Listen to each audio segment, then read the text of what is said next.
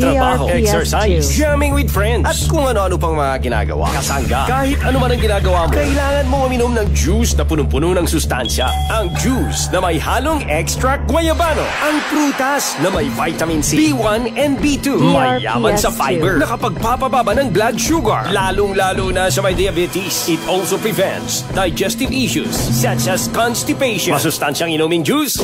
Dito ka na sa purong prutas. Smart Juice. 9 in 1 plus 1 drink mix. With DRPS2. chia seeds, L-carnitine, L-glutathione, and marine collagen.